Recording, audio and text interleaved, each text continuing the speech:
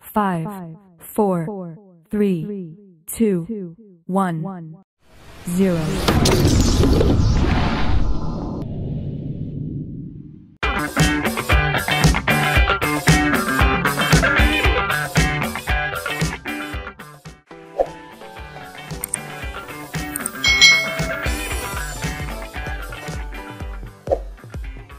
Hai hai hai Selamat datang di channel youtube Kak Citra Apa kabarnya adik-adik semuanya? Kak Citra berharap kalian dalam keadaan yang baik, sehat, dan siap untuk belajar Hari ini kita akan belajar bersama-sama untuk mata pelajaran tematik kelas 4 Kita belajar di tema 3 Peduli terhadap makhluk hidup Subtema 2 keberagaman makhluk hidup di lingkunganku, pembelajaran yang kelima. Mari kita belajar dengan penuh semangat. Tahukah adik-adik bahwa hewan yang berbeda mempunyai tempat yang berbeda untuk hidup? Ayo kita cari tahu bersama-sama. Amati gambar hewan berikut ini. Apa yang kamu ketahui tentang karakteristik tempat hidup hewan-hewan tersebut?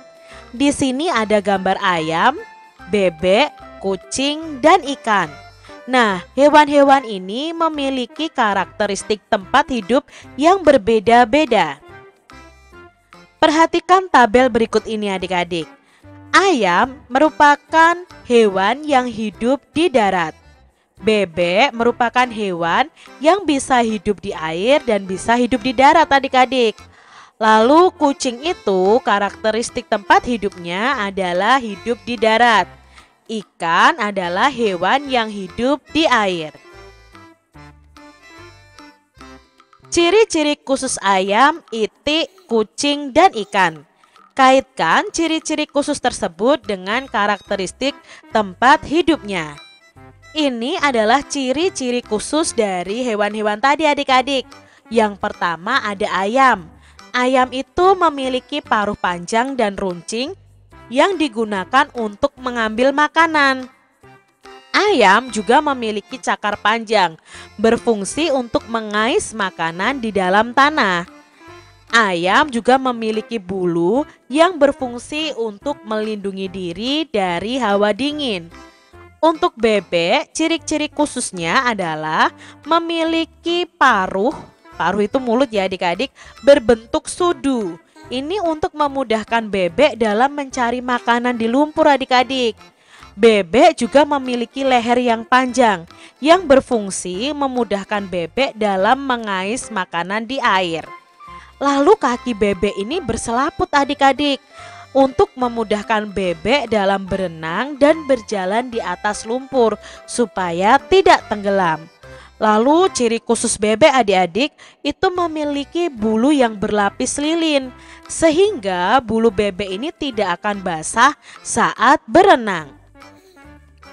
Berikutnya ada kucing dan ikan. Nah, kucing ini memiliki mata yang tajam yang berfungsi untuk mencari mangsa pada malam hari. Kucing ini juga memiliki misai adik-adik. Nah, misai ini berfungsi untuk menentukan arah saat berjalan di ruang yang gelap. Nah, e, kucing ini di kakinya itu juga memiliki bantalan adik-adik. Nah, bantalan halus ini berfungsi untuk memperkecil suara atau langkah kakinya dalam berjalan adik-adik supaya tidak didengar oleh mangsanya. Yang keempat, alat keseimbangan pada telinga berfungsi untuk mengatur keseimbangan pendengaran sehingga jika kucing jatuh tetap dalam keadaan berdiri. Itu tadi ciri khusus kucing adik-adik. Berikutnya ada ikan. Nah, ikan ini memiliki ciri khusus yaitu sirip yang berfungsi untuk berenang di dalam air. Lalu memiliki insang yang dapat digunakan untuk bernafas di dalam air. Ikan juga memiliki sisik dan lendir yang berfungsi untuk mengurangi gesekan saat bergerak di dalam air.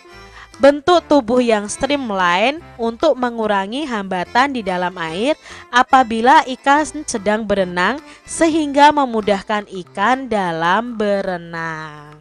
Itu tadi ciri khusus hewan-hewan yang Kak Citra sebutkan. Hewan merupakan sumber daya alam yang dapat dimanfaatkan oleh manusia untuk memenuhi berbagai kebutuhan. Apa kesimpulanmu tentang karakteristik tempat tinggal hewan tadi adik-adik? Nah kesimpulannya tempat tinggal hewan itu mempengaruhi kehidupan hewan. Apa perbedaan antara tempat hidup kucing dan ikan? Nah perbedaannya kucing itu hidup di darat sedangkan ikan itu hidup di air. Kucing itu bernafas menggunakan paru-paru, sedangkan ikan bernapas menggunakan insang. Menurut adik-adik semua, apakah kedua hewan tersebut dapat hidup di tempat yang sama? Mengapa? Jelaskan coba alasanmu apakah kucing dan ikan bisa hidup di tempat yang sama? Tentunya tidak bisa adik-adik. Mengapa? Karena Kucing ya hanya bisa hidup di darat. Kalau dia hidup di air, dia tidak akan bisa bernafas adik-adik. Begitu juga dengan ikan. Ikan itu hidupnya di air. Jika dipindah ke darat, ya dia kesulitan bernafas dan akhirnya bisa mati. Apakah keadaan alam, yaitu iklim dan bentuk muka bumi, berpengaruh terhadap kehidupan hewan? Coba jelaskan. Ya, iklim dan e, bentuk muka bumi itu berpengaruh terhadap kehidupan hewan.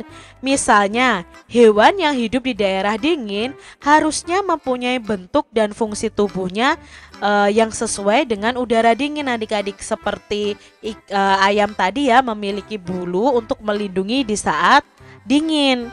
Hewan yang hidup di daerah pegunungan juga berbeda dengan hewan yang hidup di dataran rendah. Sebelum memelihara hewan tertentu, apa saja sih yang perlu diperhatikan agar hewan tersebut dapat hidup dengan baik? Nah, kita harus memperhatikan yang pertama dalam pemberian makan dan minum hewan peliharaan. Yang kedua, kita harus memperhatikan uh, dalam hal membersihkan atau memandikan binatang peliharaan, memberikan kandang yang baik dan membersihkan kandangnya, mengobati ketika sakit dan memberi vaksin penyakit nih adik-adik memberi perhatian dan kasih sayang. Ini adalah hal-hal yang perlu diperhatikan agar hewan itu dapat tumbuh dengan baik.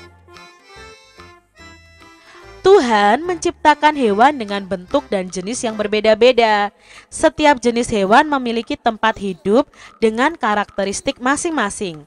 Tempat hidup itu tergantung kepada ciri-ciri khusus yang dimiliki oleh hewan tersebut. Ciri-ciri khusus hewan mempunyai hubungan yang erat dengan karakteristik tempat hidupnya. Nah, kita akan belajar lagi tentang hewan nih adik-adik. Yang pertama adalah cicak. Nah, apakah kamu pernah mengamati cicak yang merayap di dinding rumahmu? Mengapa ya cicak tersebut bisa merayap adik-adik? Lalu bagaimana cicak tersebut menangkap mangsanya? Nah, cicak ini mempunyai perekat pada telapak kakinya sehingga dapat merayap di dinding atau langit-langit rumah. Cicak juga memiliki lidah yang panjang dan lengket adik-adik sehingga dapat menangkap serangga.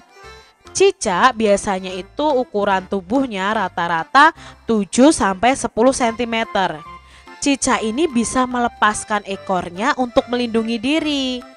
Terdapat beberapa jenis cicak, seperti cicak rumah, cicak pohon hijau, dan tokek.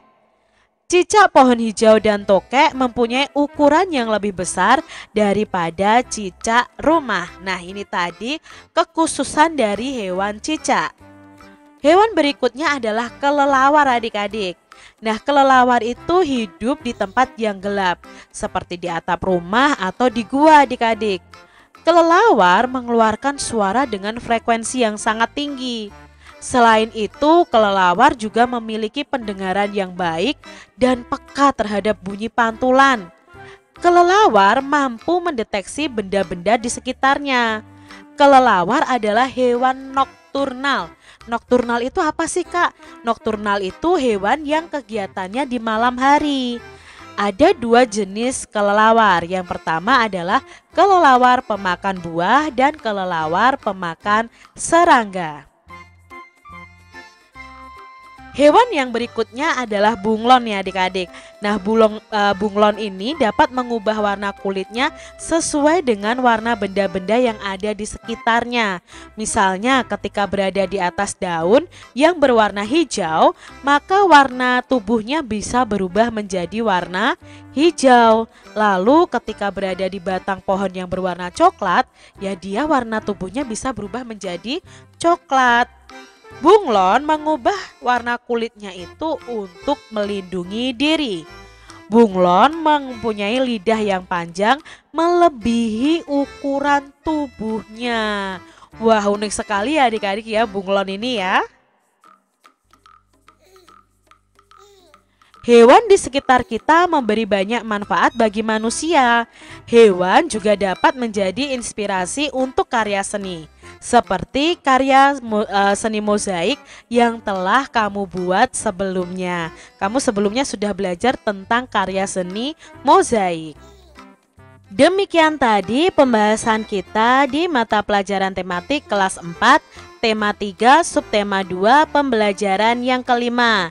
Semoga video pembelajaran ini bermanfaat ya untuk adik-adik semuanya dan sampai jumpa lagi di video pembelajaran Kak Citra selanjutnya. Tuhan memberkati.